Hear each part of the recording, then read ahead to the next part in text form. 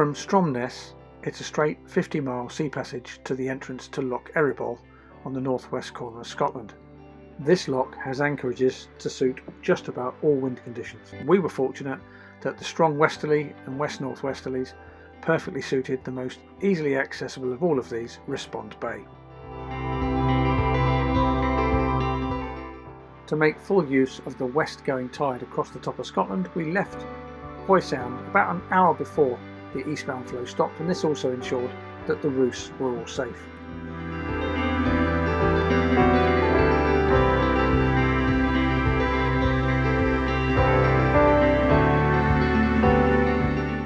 Finding our way into Rispond Bay was very straightforward, shelter was very good in the west and northwesterly winds, and holding was excellent. A tripping line is advised when anchoring in this bay.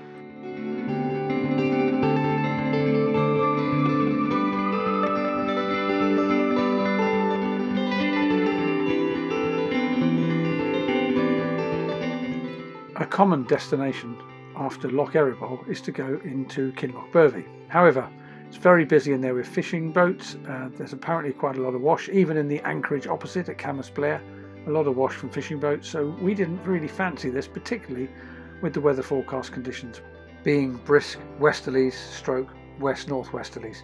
So we chose to go to Loch Laxford, which is just a couple of miles further south, into a place called Crow Harbour, which had superb shelter for these conditions, was easy to find and had great holding with lots of space. Beautiful place and a very comfortable night. There are anchorages in this lock to cover just about all weather conditions, uh, with the most sheltered for south southwesterly through to westerly conditions being Weaver Bay, uh, further up the lock. But there are equally sheltered anchorages on the north side of the lock to cover anything from the north, the northeast, the northwest. It really is a superbly sheltered lock. Hi-de-hi campers, happy Friday. Uh, we are just going round Cape Wrath, which is the headland over there with the lighthouse on it. It's been like Piccadilly Circus out here today. We've seen four other vessels. We didn't see any at all yesterday, and you might just be able to see over there, there's a yacht coming in the other direction, quite close in. We were just saying, we don't think we'd want to be that close to a lee shore. Um, but there you go, he obviously knows what he's doing and is happy, so that's fine. He's just about to go around it the other way. So we left our lovely little anchorage this morning, first thing. We were in a tiny, tiny little bay called, what was it called? Where we were anchored?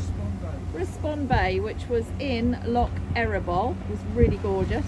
Um, I had a good night's sleep because I'm getting much better at resting at anchor with rocks either side of me, not too far away. So we're um, definitely on our way back down now. And um, speak to you later.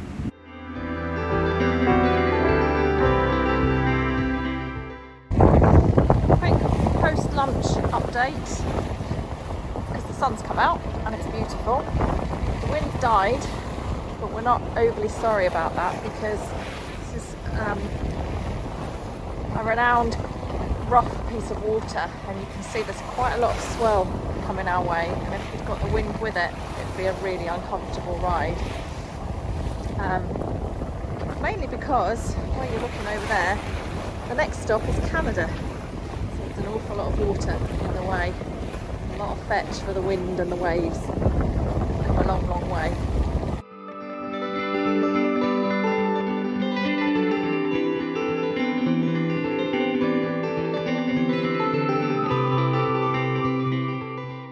Finding the entry to Crow Harbour was really straightforward. Loch Laxford has a wide entry, and one mile into the loch you'll come across Eilean Ard, which is the, a large island on your starboard side. Turn behind that, and Crow Harbour will be almost directly in front of you. Oh, look at this, everyone. This is where we're going to spend the night tonight. Um, it looks a little bit scary because there's just a lot of rocks everywhere chart plotter off and I'm going to be following along on the iPad just to make sure we don't miss anything. But look at this. It's beautiful. So excited.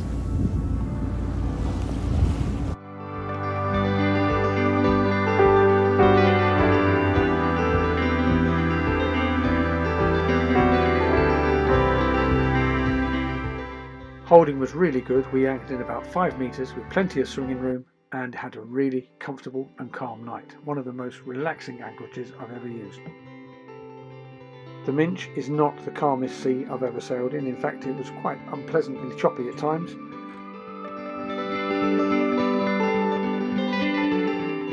Pilotage into Stornoway is straightforward, but do follow the buoyed channel and remember you do need to get clearance to enter as there's a restriction when the ferries are moving. If you want fuel, bear in mind that a fender board may be necessary because it's a piered commercial jetty. Hope you found that useful or interesting or both. Please remember, hit like, hit subscribe, hit that bell icon, these things all help the channel grow.